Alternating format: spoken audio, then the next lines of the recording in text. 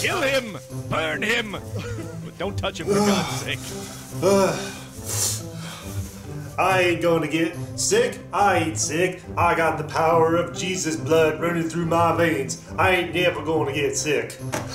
And it makes you wonder why some of the more anti vaxxer states are getting heavily infected by the coronavirus right about now.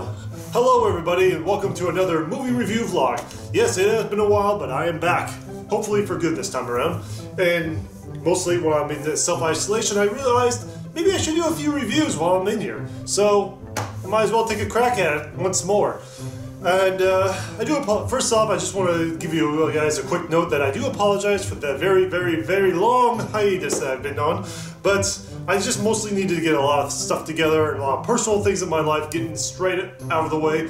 But with that said, it seems like a lot of it has been taken care of. And I'm thinking about going back to making the videos that I used to enjoy and love once more. So, with that said, uh, this coronavirus. You know, a lot of talk has been about it, and uh, I just realized that it's a lot similar to the 2011 movie Contagion, starring a full star studded cast at the time, which I would have to say people may be right about this movie. It was way ahead of its time when it came to an infectious viral disease that pretty much can spread just as easily if you cough on somebody, you don't if you touch somebody, or if you do a lot of stuff, a lot of stuff, and yet it has a more effective body count in comparison to the, in to the coronavirus, but hey, that's movies for you. So the movie Contagion is a 2011 movie, and it's also directed by Steven Soderbergh, which I completely forgot this was a Steven Soderbergh film until the end of the credits rolled by.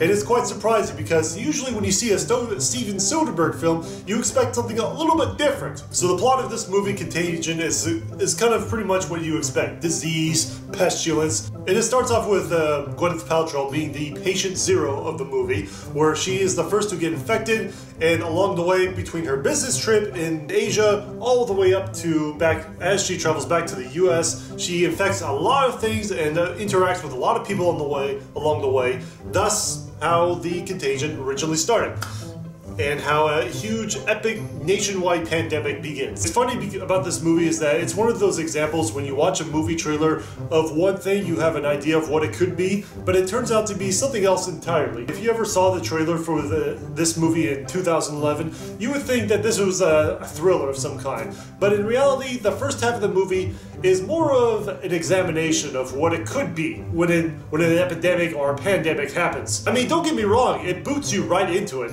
but at the same time, it is so procedural that you kind of get drawn out at times. But then midway into the movie, it kind of just jumps right into it where there's riots in the streets, people are panicking as well as getting paranoid with hand sanitizers and constantly washing your hands and who you touch and wearing full hazmat bodysuits and everything else to the point where it's pretty much like paranoia. Oh, don't get me wrong, it's not as bad as the coronavirus that everyone is going through right now. This one actually just hits everyone really hard and really fast, as well as making them get killed almost instantly after a couple of days, which it brings up the extreme paranoia within everyone. Pretty much when the plague does hit, everyone turns into absolute animals. Except for Matt Damon, because, hey, he's the cool guy. But pretty much it kind of shows like a sci-fi movie, what breaks down what everyone is going through and what happens throughout this entire epidemic. But it pretty much just shows a breakdown of what happens throughout society when everything breaks down. I guess another really disappointing thing I would have to say about this movie is pretty much the end of it. It doesn't really exactly end, it just kind of sputters out. Like after the disease, they find the cure, the vaccination for this disease, and everything just kind of goes and when the ending does roll around, there's no exact resolution to a lot of these characters. And you would think that they would have some sort of connection, like, oh, we're gonna bring everyone back together once more after everything was said and done. But at, at the end of the day, it was just like nothing. And I gotta say that when everything is all said and done, it's really hard for me to rate this movie between a 2 or possibly a 3 out of 5 because it's technically well done and are, the performance in here is well solid for the most part.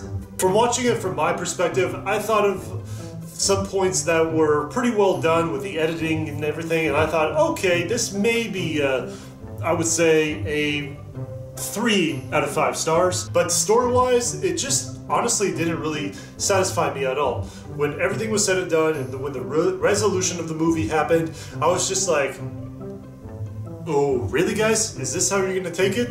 So yeah, that's all I got to say about that. So I guess at the end of it, I'm just going to give it somewhere in the middle. Uh, two and a half out of five stars. Not exactly good, not exactly bad, but it's somewhere in between. And if you guys happen to find it on your uh, local streaming platform, I highly recommend possibly watching it for yourself if you're self-quarantined on, on one of your days days off. So yeah, that's pretty much it. So if you if you guys enjoyed that, feel free to let me know what you guys thought about the movie in the description box below. Whether you thought the movie was good, whether it's bad, as well as if you guys would like to support me in any way you can. Of course, I'm making no money off of this, but I do make money off of Patreon as well. And uh, for one dollar a month, I will take up any of your guys' requests for a movie review vlog. People like good old Ryan Molina from Battle Geek Plus. Really appreciate his support for the last couple of years, even on my certain hiatus days, and hopefully I'm gonna make up to it and give him a, give him and also the rest of you future patrons your money's worth for any possible requests. So if you're out there and if you guys have a request for me to for something to review, whether it be the movie review vlogs or one of my future BoobTube reviews, feel free to let me know in the Patreon logo right here, and I have all the details that I have provided for you guys to follow through on that. So, with that said, thank you very much. Hopefully this will be the start of more review, review vlogs to, to go, as well as some other future BoobTube reviews in the near future. Yes, I'm getting back on it, and it's good to be back. For real this time. I, I really mean it. So, take care guys. I'll see you all next time.